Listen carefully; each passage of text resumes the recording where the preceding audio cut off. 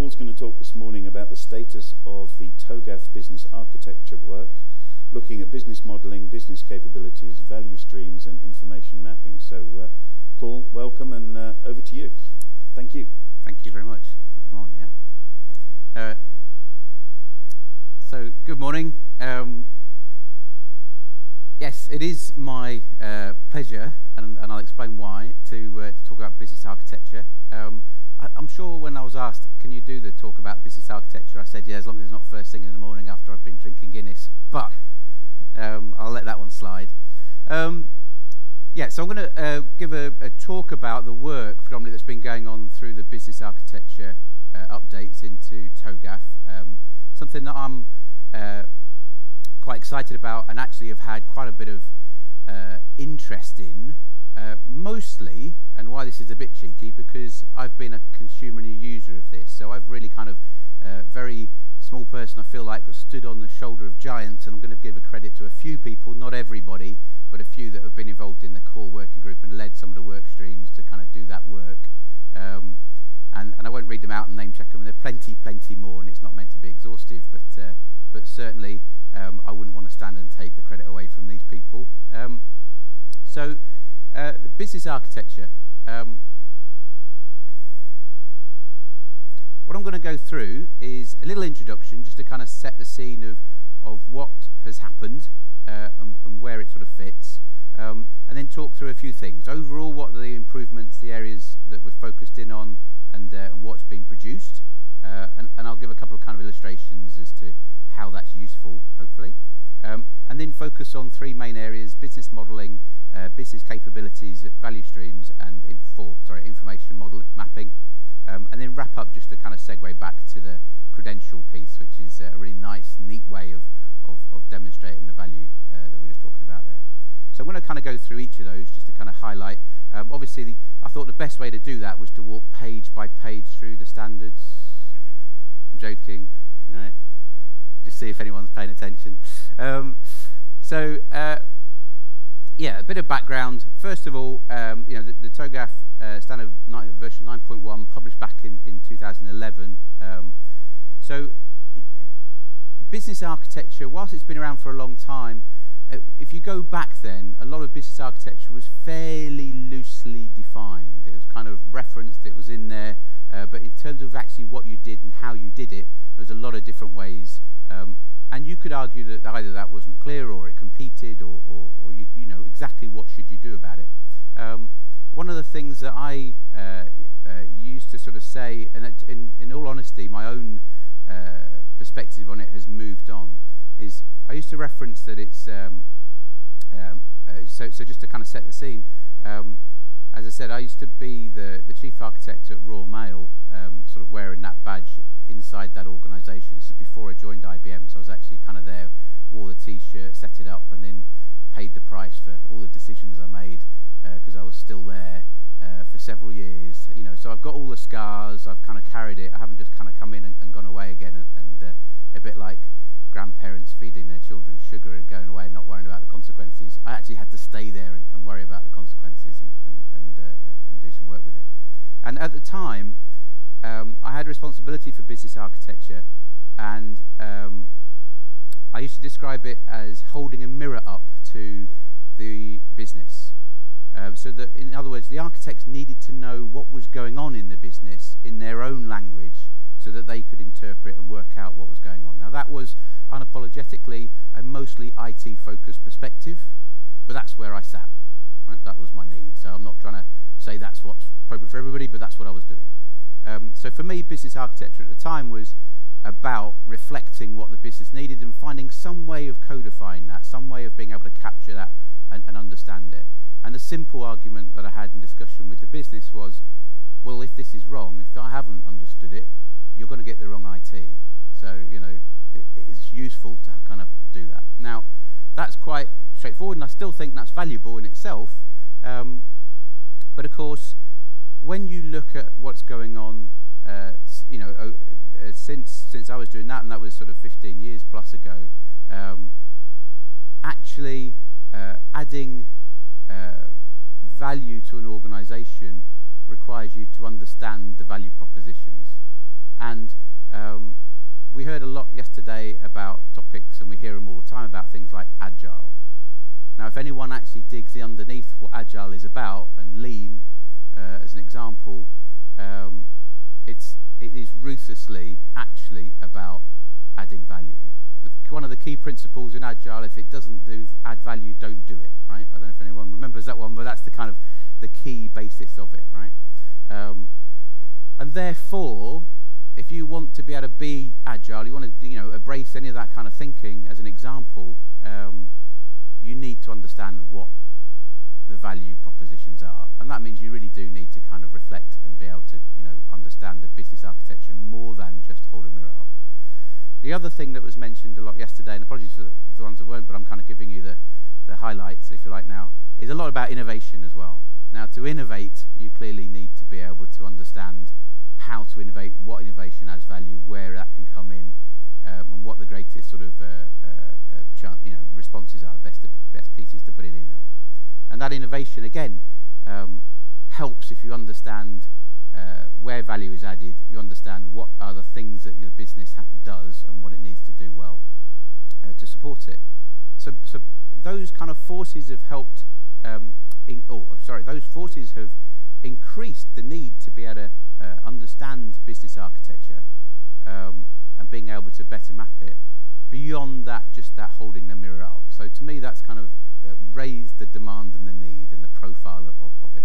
So I'm very glad to say a load of work has been done by the by the architecture uh, uh, working group and published um, some major improvements in in 9.2 uh, last year, uh, and I'm just going to kind of highlight some of those so that you can see where they are, and hopefully I've set the context as to why that's relevant, but also um, you know, to give reference for people so we can kind of advertise and you know they're there, right? So that's always one of the things I think that's hard is actually knowing what's available and, and what's out there. So, the key advancements. So, um, yeah, I, I question whether I should start with a model because that always kind of sets people, some people get excited, but this is really key um, because essentially there are three things in there that you'll see repeat, okay? So those that were familiar with the, with the meta model before, there are three key additions, business capability, value stream, and course of action. They're, they're circled there.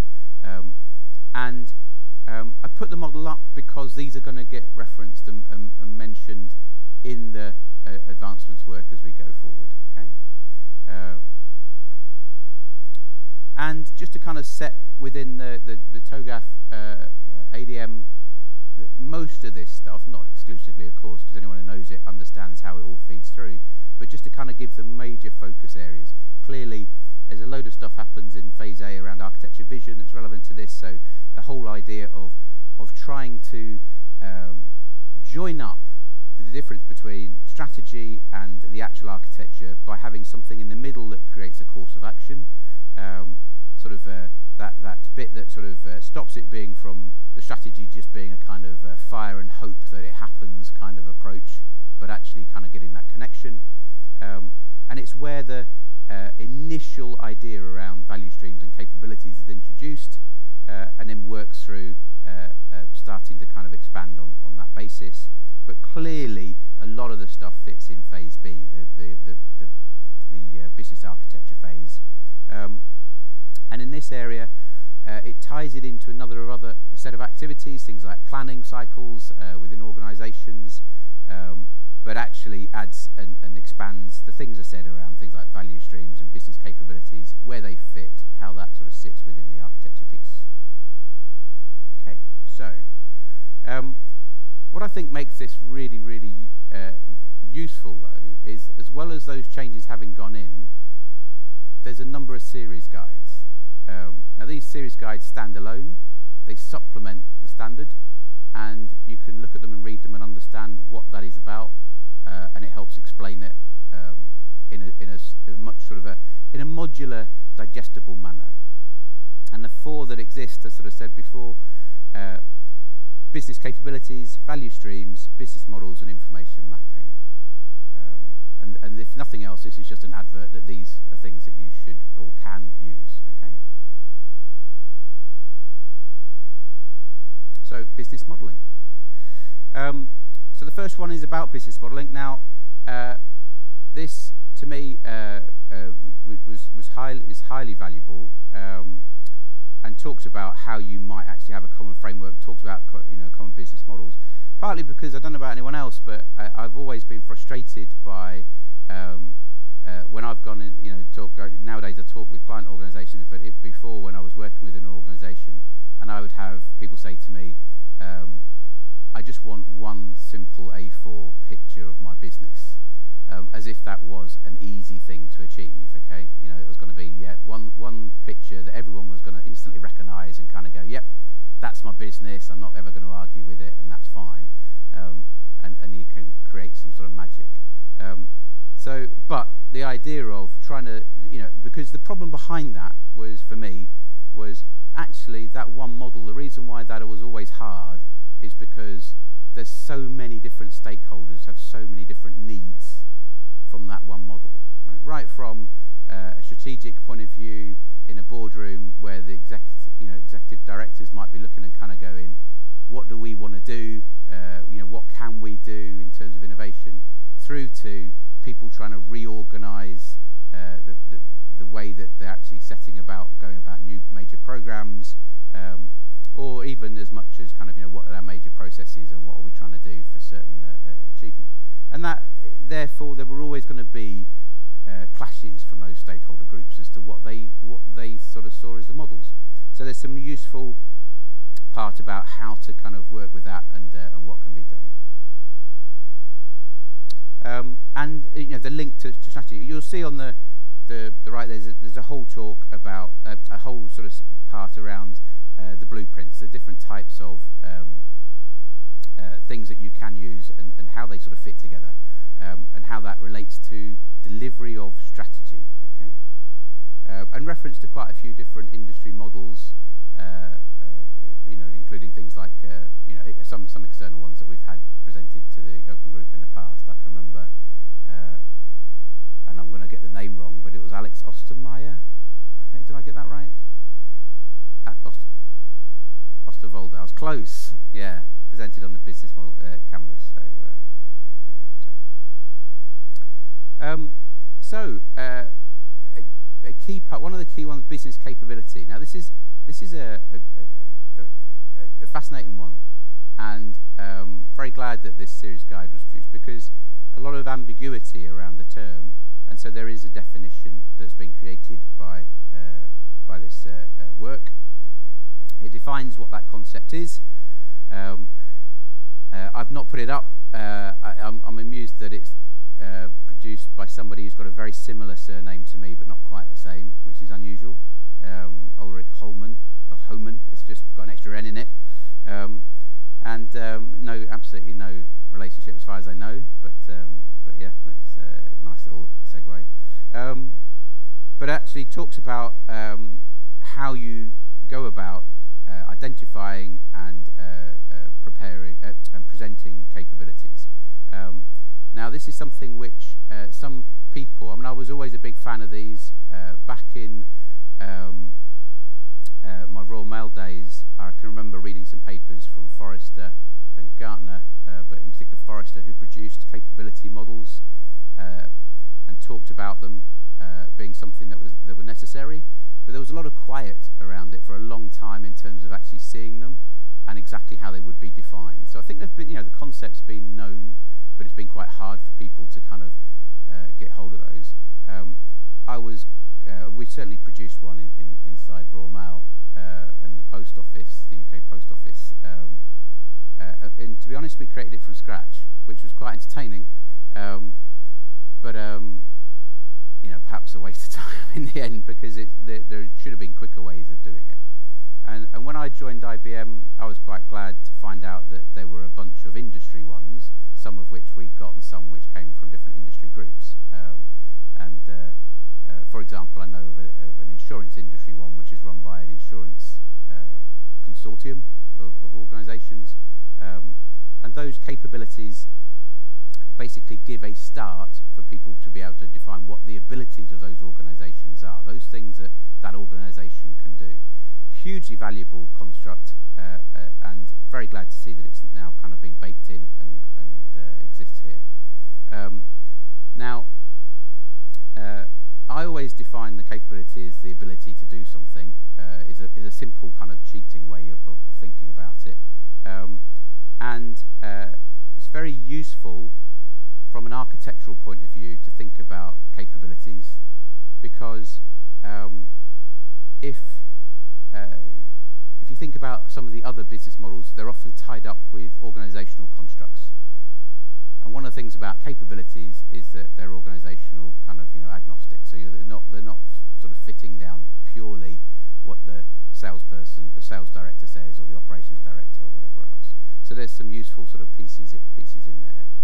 Um, and uh, the other part about capabilities is um, the capability persists, provided that's something you want to still keep doing. How you provision the capability will change. And that then becomes the planning choice. You can decide how do we as an organization want to deliver this capability.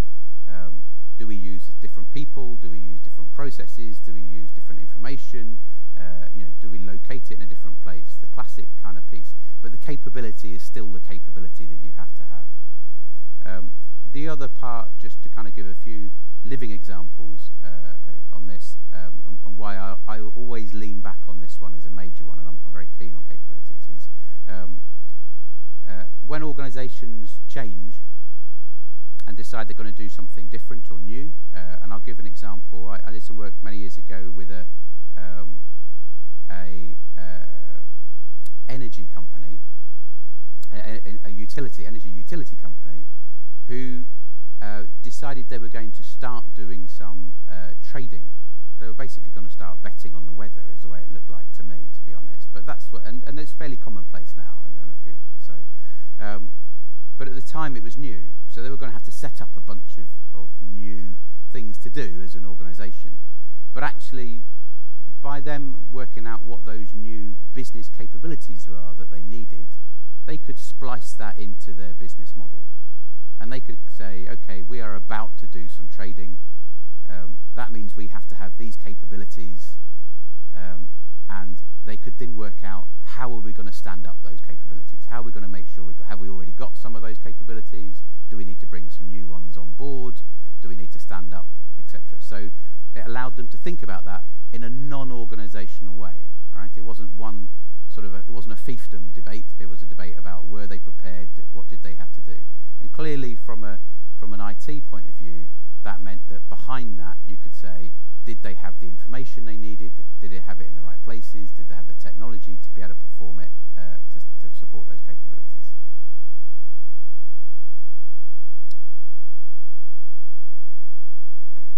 And this is a, just in case anyone's been wondering what on earth the capability looks like, this is a very simplified model, but it's taken from, from the guide to kind of illustrate there'll be multiple levels and different types. So you might have strategic and core, uh, and and and these are uh, deliberately sort of shown as components. Yeah. So uh, hopefully people are familiar with these kinds of things. Um, and if you're not, then it's a very good guide to introduce you to the, to the concept. Um, value streams. Now this is interesting um, because I, I, think I mentioned, well, I mentioned already about agile and lean um, and the fact that agile uh, you know, when, when you kind of really, really boil it down, is actually about adding value, which fundamentally asks the question of you need to know where the value is added then, right? Because if you don't know where the value is added and you don't know what, then, then you know, you can't actually subscribe to that. Um, so the value streams guide defined what a value stream is. Uh, it talks about the significance to and from the business and enterprise architecture sort of world, uh, and then provides some guidance to, to actually uh, developing those uh, along with key scenarios. Um, and for example, one of the sort of things it does is it, it, it the, the, value stream construct is to kind of say, uh, you know, there's a name, a description, who may trigger it off, and what the value is that it's adding. Okay, so what, what, why is that a valuable? Uh, uh why does that add value? Right, that's a, a, a key element. Um, and then those can actually be mapped to capabilities. And that's one of the key things about a value stream. I know there was a lot of discussion, debate about the difference between value stream and value chain, um, and we've clearly, you know, settled in, in, through the work that was done through the business architecture, uh, worked on value stream. Uh, value streams uh, can be decomposed into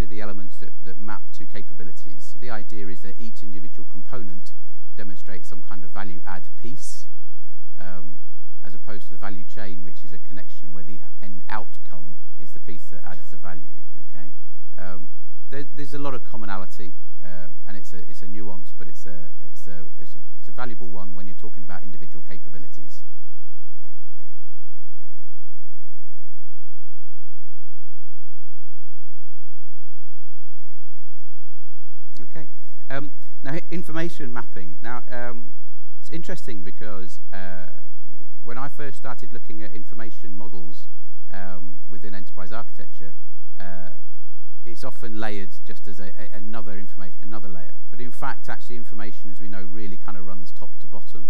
So it's useful in the business architecture piece to understand what the key information entities are for any business. Now, if that is, you know, for some people that will just be a, a statement of, they'll recognise completely. Others maybe kind of furrow the brow and kind of go, why is he saying that, right? So, you know, apologies. Some people will get this straight away and will kind of go, yep, you know, fine, carry on. Uh, but but um, uh, as an illustration, um, we all know if we work with certain industries, there are certain terms that when you throw those in, become the key term to any debate. Okay, so I do a lot of work in uh, engineering, um, and uh, you know did a lot of work with a business architecture for uh, a British nuclear submarine builders. Um, quite a few years ago, who presented in a in a plenary session uh, in in Edinburgh a few years ago, um, and there the word part is absolutely fundamental. Um, that the, that as a key business information entity actually is uh, one of the prime things to worry about from a business architecture point of view. It's not a data thing, right? Um, because part means so many different things to different people. Now, what, now, that may sound either completely obvious to people that have been immersed in that world. Sorry, a slight pun there. Um, but uh, or it may seem completely puzzling as to why that may seem so so so odd. And I'll give you a little bit of an insight to that uh, and why it's relevant. Um, in a in a submarine world, and, and, this is true in a lot of engineering situations, um, when you do the initial design, you identify a part, and a part at that point has a purpose, and you're just defining it, saying, I need to have a pump, and a pump needs to be able to do this, right? And you're defined in that way. Much later on, that part has to be procured. At that point, it is a specification that has weight, fittings, kind of all loads of other information about what it needs to be able to do to be able to perform its function. Um, and that may sound fine, but actually later on when it's being actually assembled or fitted, it, it has a bunch of instructions about actually what it's going to be doing to kind of put together um, that's far more precise because its location is important as well, right? So that all to do with the kind of you know the balance and the, and the weightings and stuff within within say a vessel like a submarine.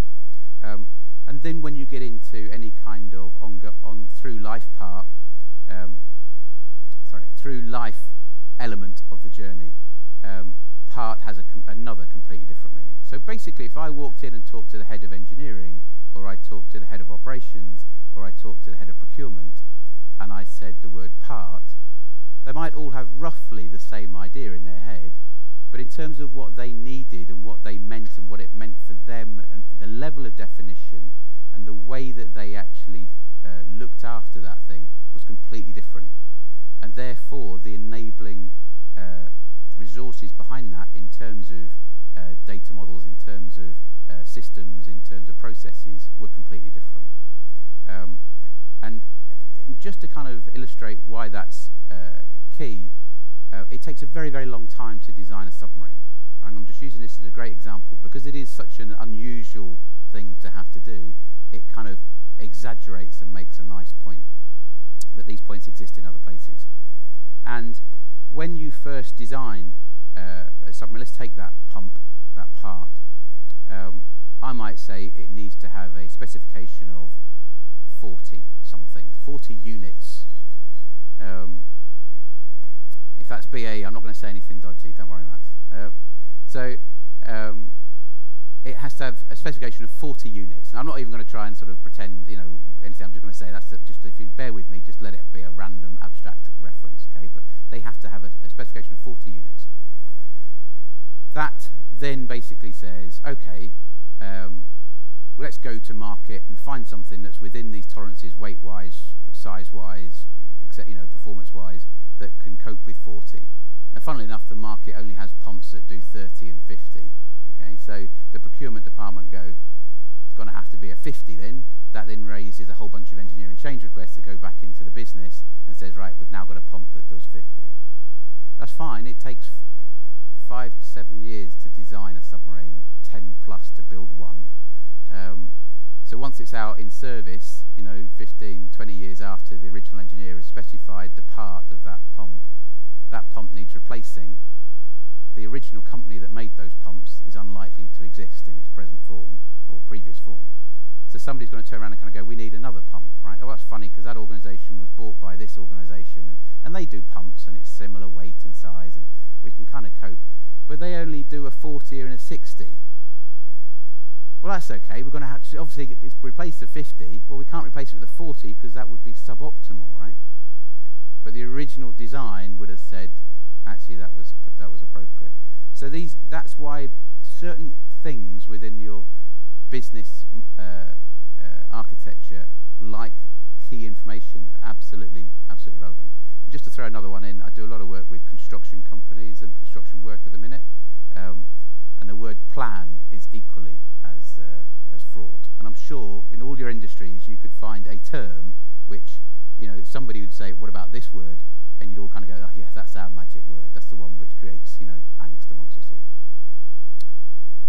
was just sort of setting up that, um, you know, obviously we need to worry about what those key information. So this is this is a different level from data. Okay, this is this is trying to work out what are those key information pieces. There's some work around this in terms of information mapping. Another series guide um, uh, sits with the others and, and, helps with that kind of vocabulary and that kind of uh, uh, uh idea of how you use it, where the processes sit.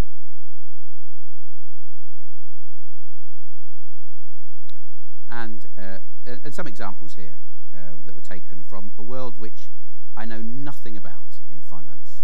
Okay, so uh, I'm not going to take any questions on this whatsoever. if it isn't material, if it doesn't, if it doesn't dig, fly, right, sink underwater or float, I'm kind of not that interested. I've got to be honest. Ever since I was a small child, it's it's where I where I've uh, focused. Um, so uh, that leads me to, uh, so I've mentioned the four different sort of guides there that have been produced. There's some great work. It went into the, the specification.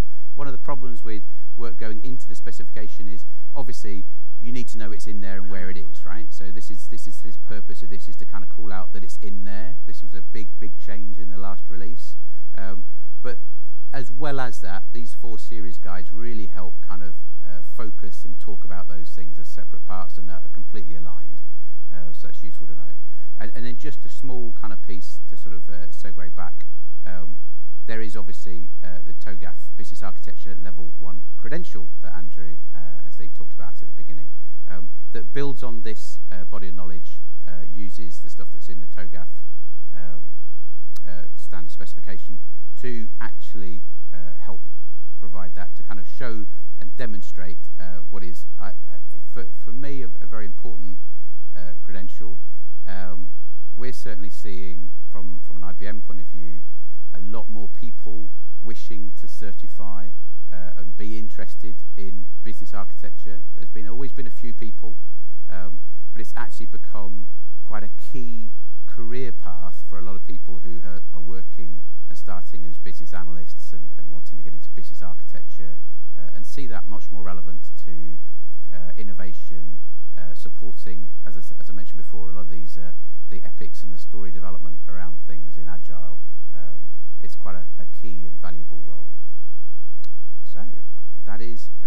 Thank you very much.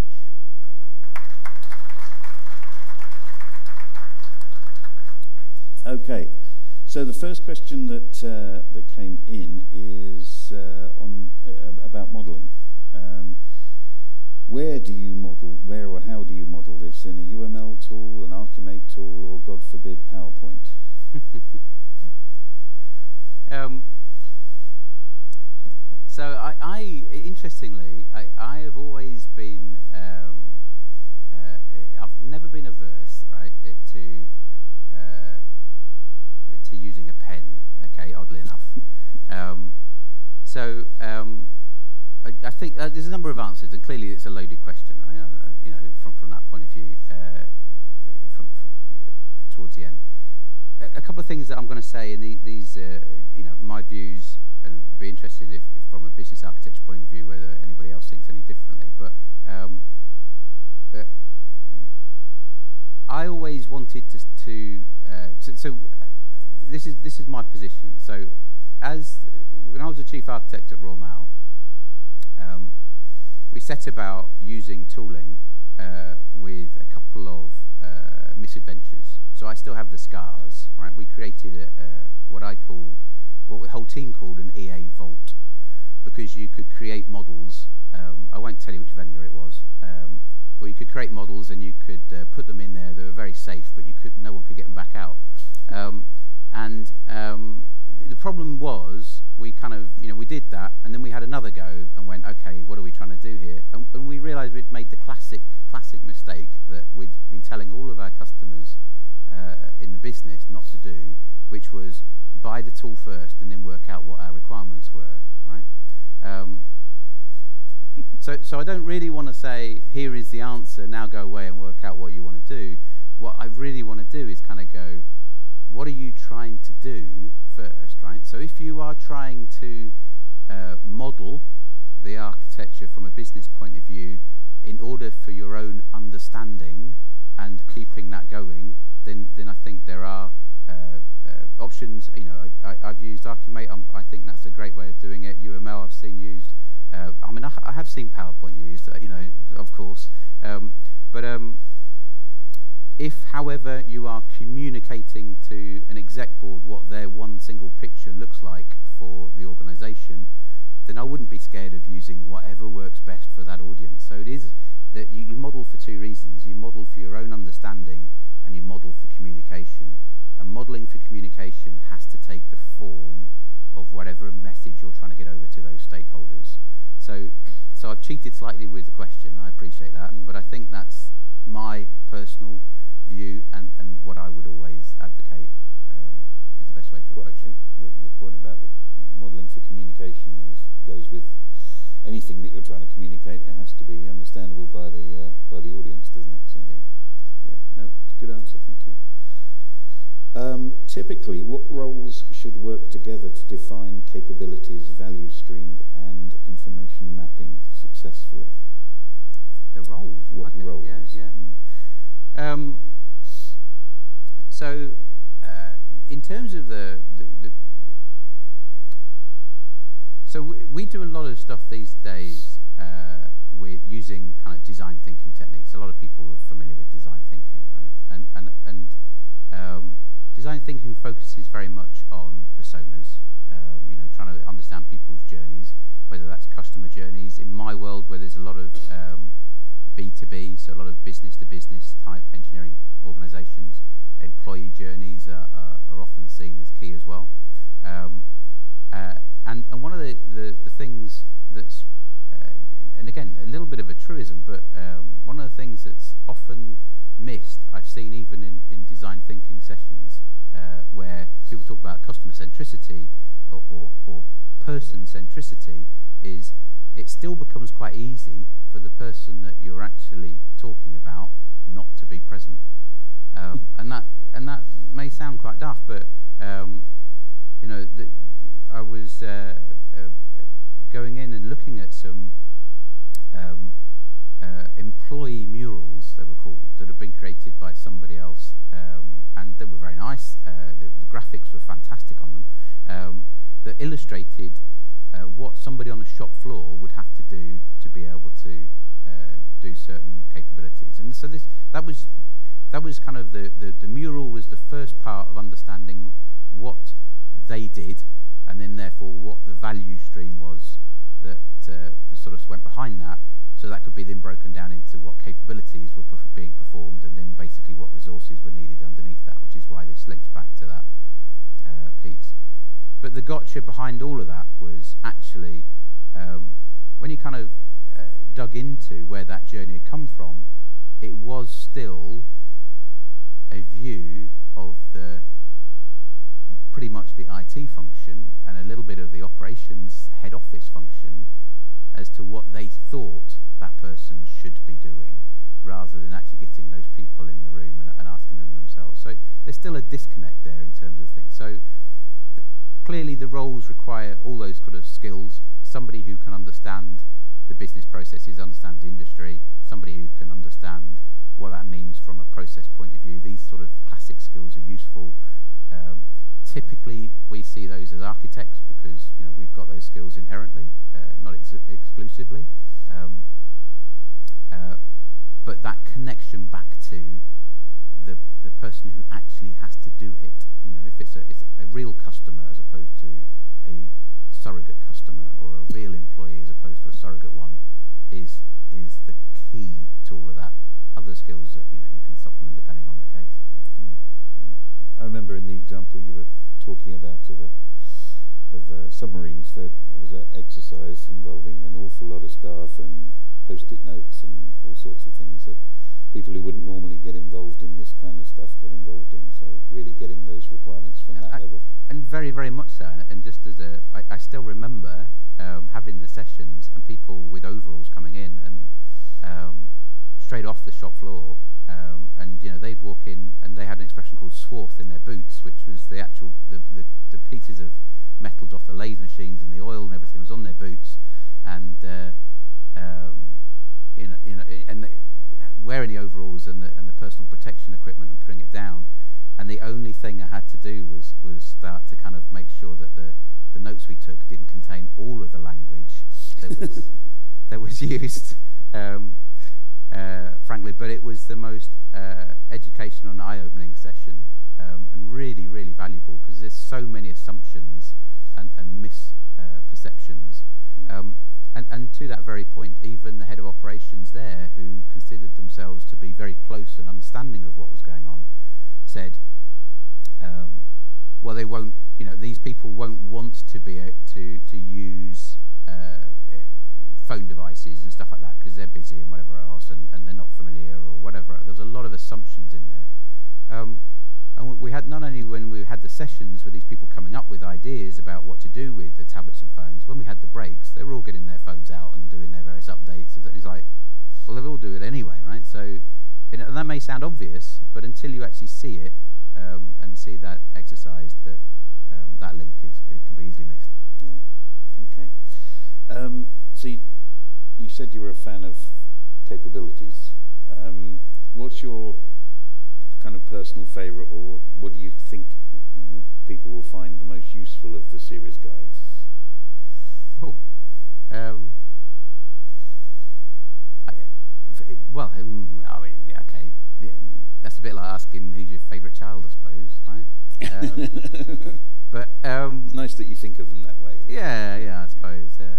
Um, it, I mean, they, of course, they're all valuable and they all connect, and that's the great thing I think is, uh, uh, you know, when I look at this, the specification, what I think is great is these things have gone into the overall standard, but sometimes because the standard is is a large body of knowledge, rightly so, um, the uh, it's difficult to be able to pull certain bits out, and that's what these series guides do. They help you highlight some of those key things. Mm. Uh, I, I am a massive fan of capability modelling.